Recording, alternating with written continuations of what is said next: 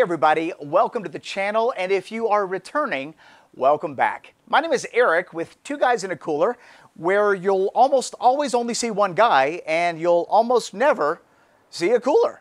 I'm glad you can make it. In today's video, I get to share with you a very exciting salami making project that I've been working on for quite some time. And before we begin, I just want to say that this particular video is really more for entertainment purposes only.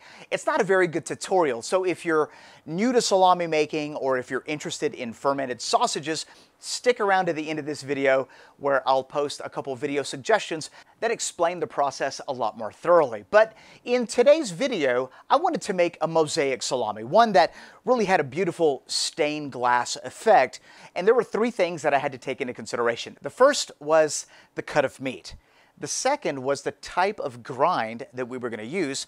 And then the third was the color of the salami. Now when it comes to the cut of meat, each animal, depending on where you pull the meat from, is going to have a slightly different color. The pork ham is going to be a little bit lighter than the pork shoulder. And also, same thing with the beef. If you're using eye of round, brisket, chuck, each one of them is going to have a slightly different tint of red. Each one of the salamis that we made in this video today have the exact same amount of meat and fat. So we used pork shoulder, pork ham, beef brisket, and beef eye of round with a 30% back fat. So the real only difference between these salamis, at least visually speaking, is going to be the way that we ground the meat, and the color that we chose to add. And so that's really the overall um, experiment. And at the end of this video, we get to see the results. So the very first salami that we made was a black salami. And the way we ground this salami meat was we took half the meat and fat and ground it through a six millimeter plate. And then we took the meat only, ground that through a kidney plate by itself. And then we took the fat only and ground that through a coarse plate. Let me show you what that looks like.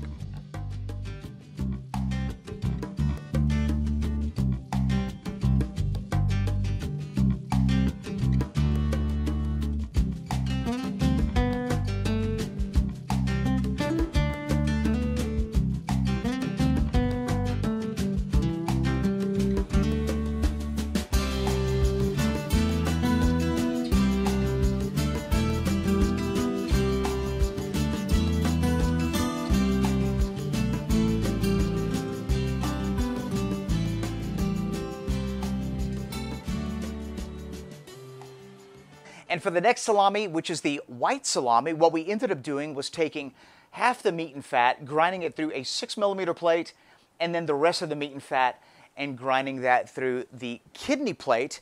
Uh, just to see what the different grind would look like on the white salami. The final salami was the orange salami, and the way that we ground that was literally to just put everything through the kidney plate. So super coarse grind, as you can see right here. And uh, we're going to see what the differences look like here at the end. All right, let's talk about color. For the black salami, I'm going to be using Cuttlefish ink. I like Cuttlefish ink because it brings a very subtle earthy flavor and it doesn't affect the binding properties of the salami. So we're going to be using about 1% in the recipe. For the white salami, I'm going to be using a food grade titanium dioxide. This is a food additive to turn things super white. And for the orange salami, I'm going to be using a natural food coloring called annatto. This is what's used to make cheddar cheese yellow. So that's the three different colors that we're going to be experimenting with. And so let's go ahead and mix everything up. So we're going to start with the black salami. And if you would like to see more experiments where we're using unusual ingredients to produce unique salamis, be sure to give this video a thumbs up and leave me a comment in the comment section below. So at this point, this is just regular salami making. We've added our starter culture, we've added our spices, our cuttlefish ink, and I'm just mixing this until it's nice and sticky. At this point, we're going to go ahead and add the rest of our fat. So remember, during the grinding process, we ground a good portion of our fat separately. It's been nice and chilled, and now we're just adding that back in. And we're doing this primarily just to see what the results are when it comes to marbling. And so that's the black salami. Let's go ahead and do the orange salami. So this is with the annatto. We've got our spices already in it. We're adding now our starter culture. And aside from the unique coloring, I mean, we're just making a basic salami recipe, nothing too special. We're going to go ahead and add in the annatto just to see what happens. And this is actually a really, really strong colorant. This is a water-based colorant. And a little goes a long way, trust me on this one. All right, so there is the orange salami. Let's make the white salami. Now remember, a portion of the meat and fat were ground on a 6 millimeter plate, and then the rest was ground on a kidney plate. And for the white salami, we just took the titanium dioxide and diluted it with a little bit of water just to dissolve it a little bit. Otherwise, it doesn't incorporate so well.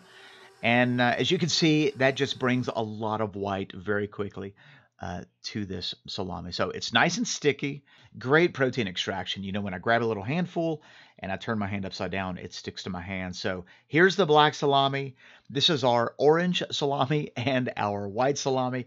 These smell great, by the way. So let's go ahead and get them into a casing and get them ready to start fermenting.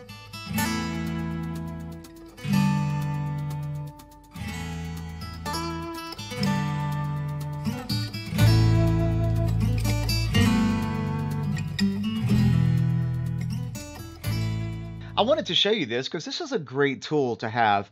This I got from the sausage maker, and it's a stuffing horn cleaner, and it just saves you a whole lot of time when it comes to cleaning out your stuffing horn. But when it comes to making fermented sausages, you can take the sausage meat that's left in that horn and use it to test the pH once you're done fermenting. This way we don't disrupt what's in our salami chub, you know. So we're going to test the pH of that little sample right there and really, that's about it. So we're just going to set that to the side. As far as the salami goes, we're going to poke it with a sausage poker.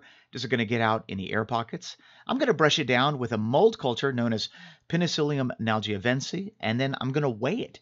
Uh, by weighing it, I get to record the actual weight, and then I get to record my target weight, and that kind of lets me know when it's going to be finished. And typically, I try to target anywhere between a 35 and 40% weight loss. I'm now going to wrap my salami in some cling film because I want to lock in as much moisture as I can during fermentation. At this point, this salami is ready to start fermenting. So let's go ahead and do the other ones. We're going to prick them. We're going to brush them down with a little mold 600. Uh, we're also going to weigh it, right? Standard operating procedure. We're going to record our weight. And then finally, we're going to wrap our salami in cling film. Now, there's a lot of different ways you can ferment your salami. You could place it inside your oven with the light on. You can build a dedicated fermentation chamber. I personally like this method because it is incredibly easy and you don't have to do anything other than wrap your salami in cling film. As long as the temperature in the room that you're fermenting your salami in is adequate for fermentation, you're good to go. So I'm just going to take these, cling film wrapped salami, leave them on my kitchen counter overnight. This process generally takes between 18 to 24 hours. And sometime tomorrow, we'll test the pH and see if we've hit that safe zone. So here's what we're looking at. The starter culture that we added is called Flavor of Italy, and that likes to ferment between 75 and 85 Fahrenheit or 23 and 29 Celsius at a 90% humidity. The pH that we're targeting is anywhere between a 4.9 pH and a 5.2 pH. And like I said earlier, this normally takes between 18 and 24 hours. A few different options for fermenting is to place this into a dedicated fermentation chamber, putting it into your kitchen oven with only the light on. You could do like I'm doing, which is leave it on your kitchen counter wrapped in cling film. You can also vacuum seal and sous vide this or you could place it into a biltong box. It doesn't matter where you place it, as long as the temperature and the humidity are adequate for fermentation. All right, it's been about 20 hours, and we're now going to go ahead and test the pH to see whether we are in the zone. We're looking for a 4.9 to 5.2, and we're using a pH meter by Apera Instruments to run the tests. If you want more information on this pH meter, I'll put a link in the description box below.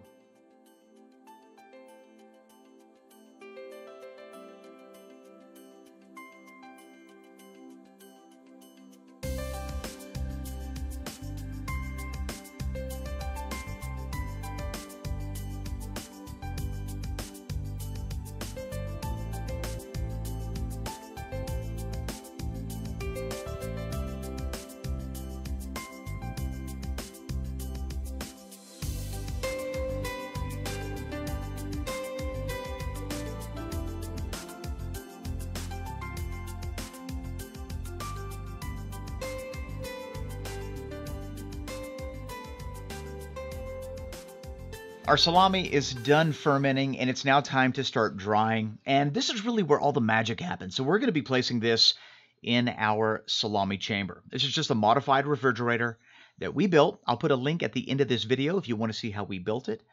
And this is where it's going to hang for probably the next two months. Uh, it's going to slowly start to dry. The conditions inside our chamber are 55 degrees Fahrenheit or 13 Celsius with an 80% humidity, and we're targeting a 35 to 40% weight loss. You can hang your salami basically anywhere you want as long as those two conditions are met 55 Fahrenheit, 80% humidity. So a basement is great, a cellar is great. For me, a modified refrigerator works just fine. And two months later, roughly 65 days, our salami has now hit its target weight. So it's time to take them out of the refrigerator and cut them open and just sort of see what they look like, and better yet, see what they taste like.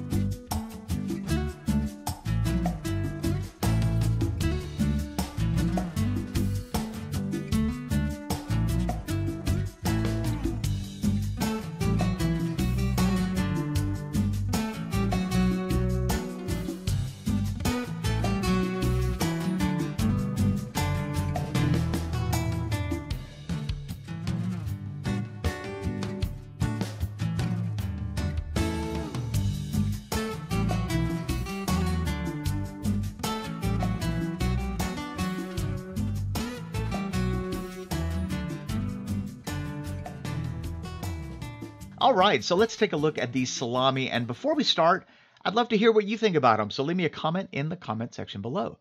The white salami looks like it has great particle definition. The different cuts of meat look like they're coming through with the different colors and really nice stained glass effect. Nice bind on this salami. So no problems there. Nice little fat pocket right here on the side. Okay, so let's just give this a little taste and see what that's like. Okay, all right, pretty good, pretty good. Let's go ahead and take a look at the black salami. Now remember the black salami we ground three different ways and we added a good portion of the fat at the end. Um, I am really digging the color contrast of the different cuts of meat that we use. You know, the brisket, the round, the ham, and the pork shoulder. That absolutely looks beautiful. You know, when we hold this up to the light a little bit, you really get that feel of uh, the stained glass effect. Let's kind of hold it up next to the white salami and see what that looks like. Wow, both of them look super cool. I love that. The salami's got great texture, no problems there, great bind. Let's go ahead and give it a taste. Mm. That's tasty. Very, very nice. Slightly earthy, nothing too overpowering. Really good, really good salami. Both of these have been super good so far. All right, so let's take a look at the orange salami. This was colored with the annatto coloring, and we just ground this on a kidney plate. That's it. Everything went through it. So the meat and the fat is uh, nice and coarsely ground. Great marbling. Beautiful marbling on this one. And I'm loving the size of the meat. I mean, great big fat pieces in there. You could definitely see, you know, the different cuts that we used. When I hold it up next to the black salami, I find the black salami to be a little more showy, you know, the contrasting black and white with the deep red. So let's go ahead and give it a taste, see what that's like. Mm-hmm. Okay, very good.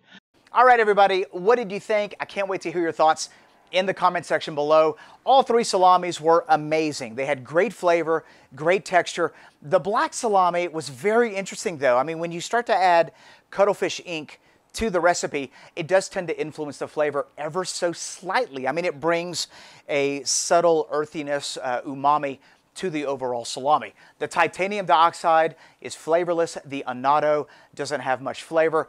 And so outside of the way those two look, you really don't know it's there. Although I do have to admit, it is a little strange uh, eating a white salami and a black salami and an orange salami. Uh, but the flavors were absolutely amazing. And as far as the overall look for these three salamis, I gotta admit, I'm a little torn. I really like the white salami. I mean, the particle definition is great, but as far as the stained glass effect, I feel that it's lost because there's not a lot of color contrast. The uh, white background with the hues of pink and red sort of all blend together. The black salami, don't get me wrong, absolutely amazing beautiful stained glass effect. I mean, you've got the black background, the ruby red meat, that white fat, they contrast perfectly, but you don't have very good particle definition because that's lost in that cuttlefish ink. And then there's the annatto salami, the orange salami, and I'm loving the grind. I mean, everything through the kidney plate, we've got nice chunky pieces. The marbling is amazing. The particle definition is amazing. But as far as the stained glass effect, it's not nearly as showy as the black salami because there just isn't that big of a contrast within the colors. So where do we go from here? I think it would have been kind of neat to maybe take a little bit of all three flavors and mix those into one sausage. Maybe we'll do that in the future. I'd love to hear your thoughts. Thank you for joining us on this experiment. If you have any questions, leave me a comment in the comment section below. If you like this video or got anything out of it, be sure to hit that thumbs up button. Not only does that let me know you want to see more content like this, but it will also immediately level up your sausage making game. So be sure to hit that button. And speaking of hitting buttons, if you're new to this channel, smash that subscribe button and that notification bell so you can be notified of each one of our future uploads. Thanks a lot for joining us. We'll see you next week. Bye-bye.